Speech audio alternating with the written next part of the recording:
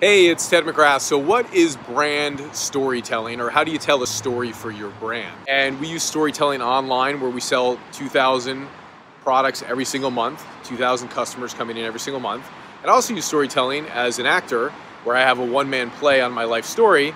And storytelling has been the cornerstone of my entire business, my passions, my love, my life. And I want to talk to you about how I've actually done it and how you can use it in your business. So, number one, the first element of brand storytelling is think of a personal story that you can tell um, that is universal to a lot of people. That when you share something personal, it makes it more universal where it applies to a lot of people and it really connects with them. So if you're an entrepreneur or service business or an expert or a coach, you know, telling a personal story, um, of course, related to some degree, you know, intertwined with your product. One, connect the customer to you personally, but two, connect a person, right?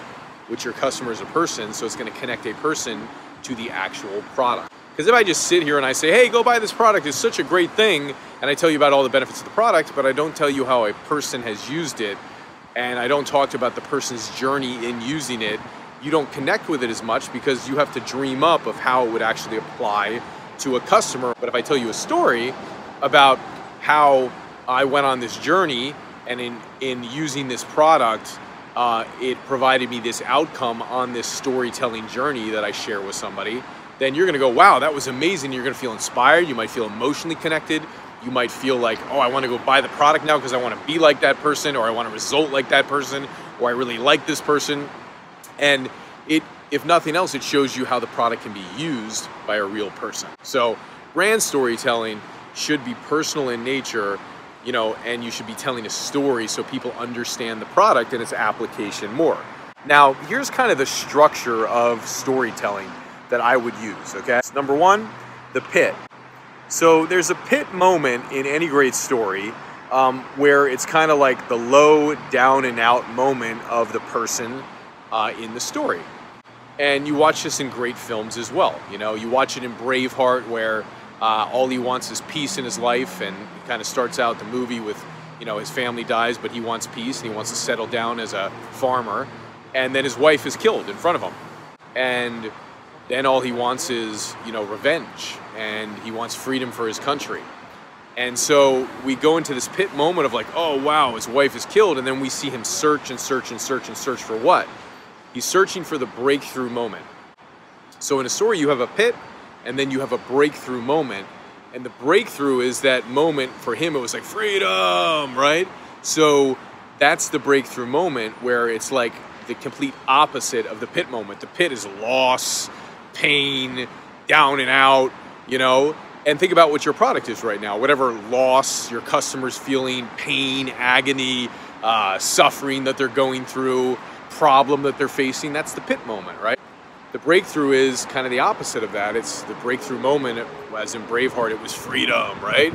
For me, one of my brands is called Message to Millions, so I talk about my journey and my pit moment of, you know, 21 years old being in the insurance business, and then um, chasing the money and cracking six figures my first year in the business, and then on the kitchen floor that night, overdosing from a bag of cocaine, two puffs of ecstasy, 15 vodka sodas, and my soul's coming out of my body. I'm dying. And then I searched and searched and searched. So in between the pit and the breakthrough in any story, there's a search. So for me, I was like, well, the money didn't do it, so maybe power and status will do it, right? And then what did I do? I went out and I chased the power and chased the status. Five, six years later, I was the number five partner out of 500 partners for one of the top life insurance companies in the country. And I had that gnawing question, right? Is this all there is to my life? And that propels me to search more, search more, search more. You see this in movies too, right? You know, there's some learning lesson that happens on the search, or some question that the character's asking themselves, or some obstacle they're trying to overcome. The breakthrough moment is a heroic moment. So for me personally, you know, I searched and searched and searched, and then, you know, I woke up one day and realized that I wanted more, you know, I wanted to make a difference with my story, with my message, with my voice, with my passions. And I realized I wasn't to do that insurance business, so I left, I resigned. But one day I saw a guy do a play, a one person play. And I saw him do it from the stage. And I was at a business conference. It was so unexpected.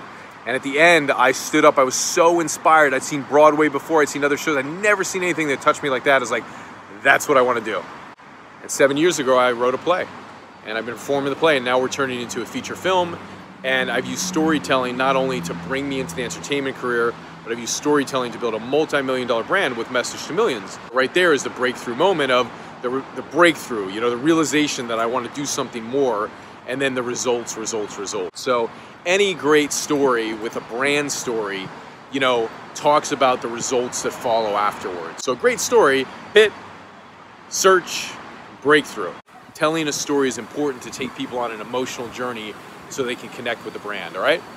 So hope this serves you. Subscribe to the channel. When the world opens up a little bit again, we start touring the play. We'll tell you if we're in your city.